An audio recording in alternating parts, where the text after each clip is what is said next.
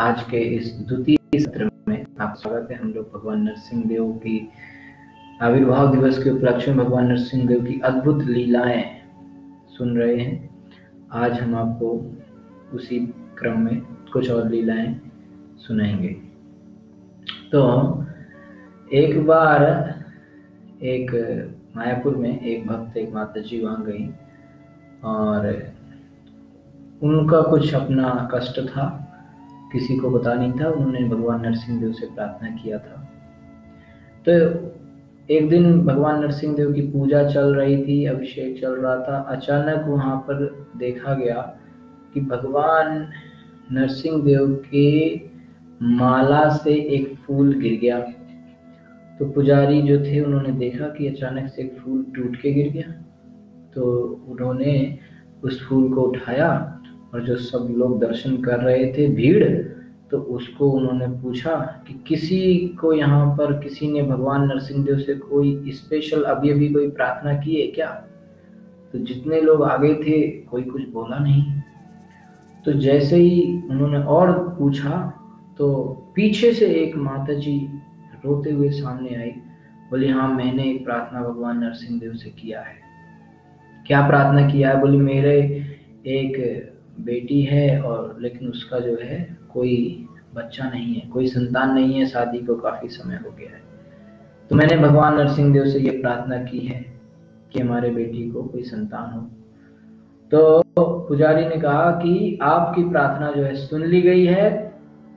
भगवान नरसिंह देव की जो माला से फूल गिरा है, ये कोई आसान बात नहीं है। ये प्रसाद के रूप में आप ले जाइए और इस फूल को धुलकर वो पानी आप अपनी बेटी को पिला दीजिए। तो ऐसा ही उन्होंने किया। एक साल के बाद वो माता जी फिर से उसी मंदिर में आई, मायापुर के नरसिंह देव के सामने, और वो आई अपनी बेटी के साथ, दामाद के साथ, और उनके साथ एक छोटा सा बच्चा भी था। उन्होंने कहा कि वो जो आपने फूल दिया था, वो सही में भगवान नरसिंह देव का प्रसाद था। भगवान नरसिंह देव की कृपा से जो है, हमारे घर में हमारी बेटी को ये संतान की प्राप्ति हो गई। इस तरीके से भगवान नरसिंह देव ने वो माता जी की प्रार्थना सुनी और उनको जो उनकी इच्छा थी वो दिया। तो एक बार और ऐसे ही प्रभुपाद जी के समय में हमारा एक मंदिर बन रहा था इस्कॉन का। उस मंदिर के बनने के समय में बहुत बड़ा मंदिर बन रहा था और प्रभुपाद जी उसको बना रहे थे। तो उस मंदिर के बनने में एक व्यक्ति बहुत ही व्यवधान डाल रहा था। बहुत तरह की समस्याएँ कर रहा था। बार बार वो कुछ ना कुछ कर देता था और भक्त लोग परेशान थे। मतलब वो इतना बड़े स्तर पे समस्या करता था कि लीगल एक्शन भी हो रहा था और भक्तों को परेशान भी कर रहा था, जान की भी धमकी दे रहा था। कई तरह के उल्टे काम मंदिर में कर देता था ताकि मंदिर वालों का नाम बदनाम हो जाए। इस तरीके से वो कई तरीके से जो है भक्तों को परेशान कर रहा था और मंदिर में व्यवधान डाल रहा था कि मंदिर ना बन पाए। तो फिर भक्तों ने जाके शिल प्रभुपाद से प्रार्थना किया कि इस तरीके से ये व्यक्ति हमारे मंदिर के बनने में व्यवधान ला रहा है। तो शिल प्रभुपाद जी को तो उन्होंने कहा, ठीक है।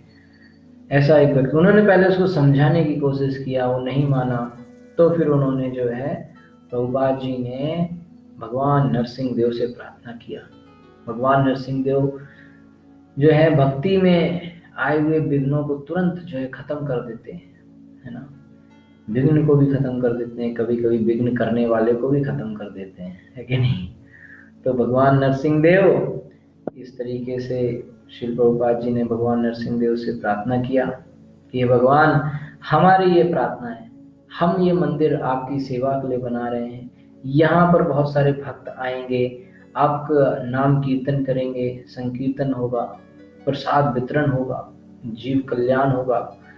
आज देखिए हमारे इस्कॉन के मंदिर कितने, हर जगह ऐसी विषम परिस्थिति हो रखी है और उसमें इस्कॉन के मंदिर सबको फ्री में प्रसाद भरपेट प्रसाद खिला रहे हैं। उनको दे दे के जा रहे हैं, उनकी जगह पे दे रहे हैं इस लॉकडाउन की परिस्थिति में।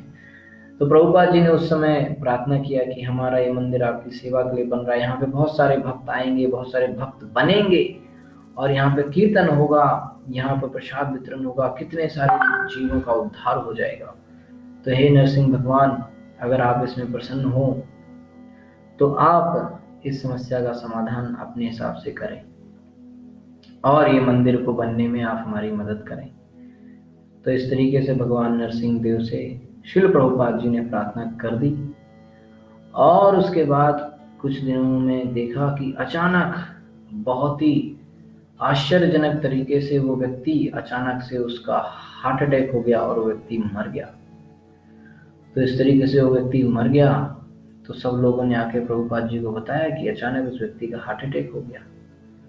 तो प्रभुपाद जी ने कहा कि हो सकता है भगवान नरसिंह देव ने इस तरह का व्यवस्था किया हो। बाद में वो व्यक्ति का हार्ट अटैक अचानक इससे हो गया तो उसका फिर केस भी हुआ और उसका जो परीक्षण सब होता है पोस्टमार्टम वो सब हुआ। तो उसकी रिपोर्ट में आया कि जो है, उसको हार्ट अटैक ही हुआ था और उसमें कोई दिक्कत नहीं है।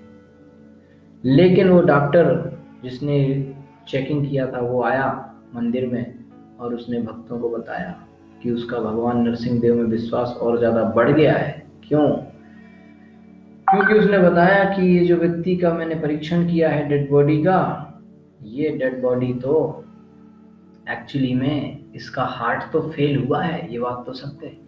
लेकिन एक अजीब सी चीज़ मैंने देखी कि उसके हृदय पर एक जानवर जैसे शेर होता है या चीता होता है, उसके पंजे के निशान है। उसका हृदय ऐसे लग रहा है जैसे किसी शेर ने उस हृदय के अंदर नाखून घुसा के उसको दबा दिया हो, उसको पाउडर बनाने की कोशिश की गई हो तो उसके हृदय के अंदर नाखूनों के निशान है, शेर के नाखून के निशान है। तो अगर शेर के नाखून के निशान है तो सीने पर नहीं है। बाहर से देखेंगे तो कोई निशान नहीं है, लेकिन अंदर उस डॉक्टर ने जिस